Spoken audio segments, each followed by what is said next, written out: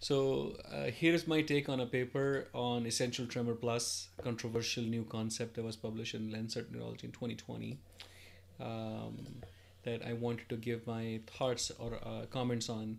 Um, it's a really good paper and I think worth looking at. Um, so this paper uh, that discusses the essential tremor plus concept uh, is written by a really good team. So Dr. Elan Louis, who is the uh, lead author, is very well known as one of the leading experts in tremor and tremor concepts.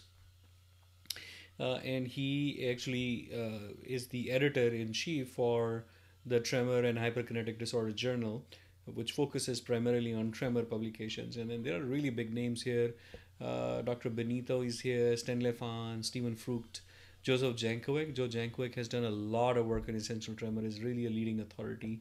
Uh, Bill Ondo um, and Dr. Tan, uh, really, really good names uh, who are writing this paper, and these people are, uh, are worth listening to when they speak. So it, it the the abstract very nicely summarizes that uh, that the the classification in 2018, the consensus statement from Movement Disorder Society, uh, tried to uh, simplify essential tremor into something which is more specifically an isolated tremor and does not have a lot else going on. Uh, and they paid a huge uh, um, focus on the absence of other neurological signs. Uh, but this paper makes this uh, claim, which I personally agree with, so that will be my bias when reviewing this paper, is that that, that is an excessive oversimplification, and then many of these additional uh, abnormal neurological signs uh, listed, such as dystonia or ataxia, are typical part of essential tremor evolution for most of the experts like me. So they say that uh, these uh, additional clinical features uh, are seen, especially at a more advanced stage of the disease, and this is also my personal stance. Actually, uh, I was trained by my mentors um, but with this concept that a third of patients with essential tremor will develop ataxia with the progression of the disease, and another third of essential tremor patients uh, will have hearing loss. So we know of these two common affiliation with what we have described as essential tremor. Now, essential tremor does have a specific pathology in the brain, but is usually not a pathological diagnosis. Usually, diagnosis based on a clinical feature, such as the this particular tremor uh, early age of onset, strong family history, slow progression over time. And, and the authors make a very nice uh, comment here that uh, the essential tremor is already a very heterogeneous uh, kind of a disease. So uh, it's, it's, it's, it's itself a heterogeneous condition.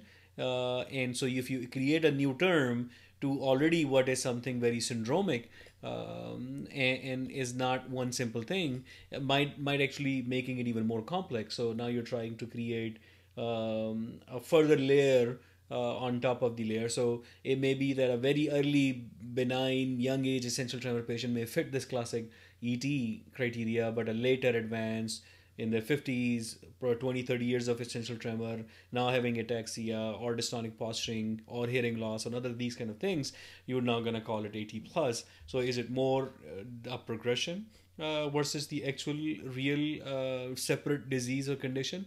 So the biggest question to ask then will be, does those patients who have ET plus, did they never had ET and they always had ET plus? Or is it that they that the ET patients always go on to ET plus or mostly go on to ET plus? Uh, based on this these definitions. So, uh, are we just talking about a, a, natural progression of essential tremor, or are we really talking about a separate disease?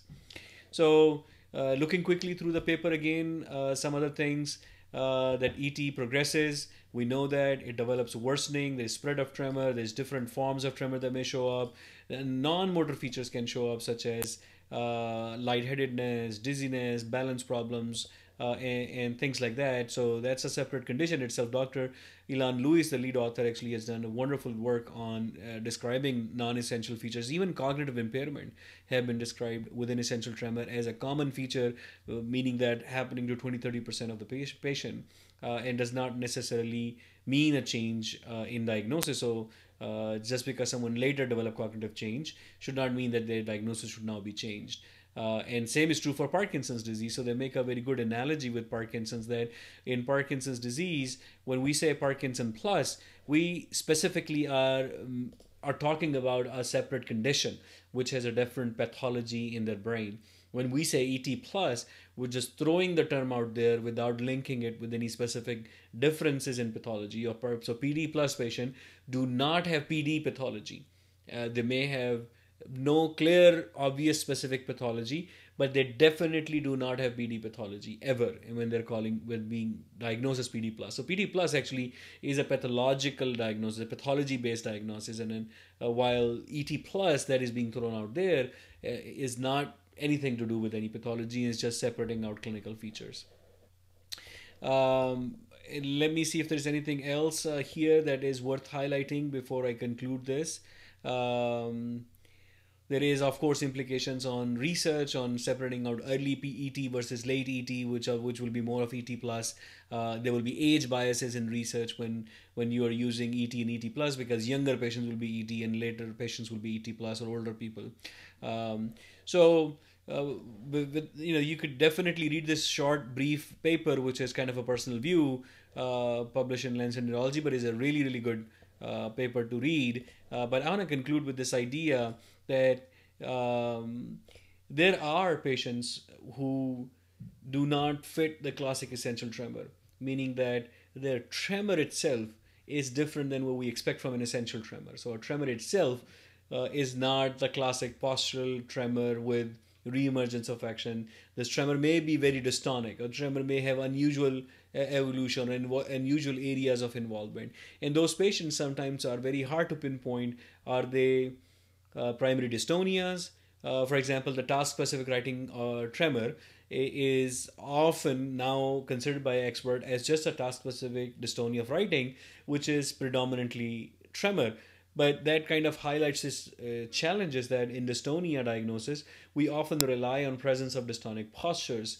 Well, with uh, with syndromes like primary writing tremor, um, there is not uh, sometimes a very clear element of dystonic posturing. And that's why some experts like Joe Jankovic has even worked on separating them out into type A primary writing tremor and type B and saying that one is the primary task specific dystonia of writing and is a dystonia while the other is not dystonic because they do describe these patients which have very specific writing tremor, as you would expect from a task specific dystonia of writing, but no dystonic feature. And I would venture and say that in my in my practice, I have patients who have focal uh, have limb tremors, and uh, they have strong dystonic features of the tremor, but without any obvious dystonic posturing, making it very hard to say, okay, this is dystonic tremor, but the tremor does look similar to a jerky directional, positional, position dependent tremor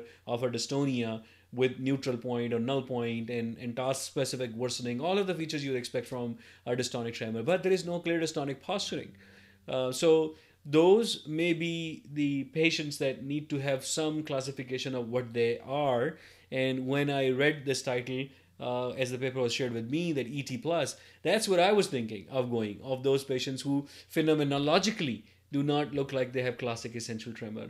Uh, but this paper basically deals with patients who do have phenomenologically classic essential tremor, but they have additional features like ataxia, cognitive impairment, dystonia, which I agree with this uh, authors of this paper uh, is probably just an evolution of essential tremor over the years and not necessarily a separate disease or separate pathology. Thank you.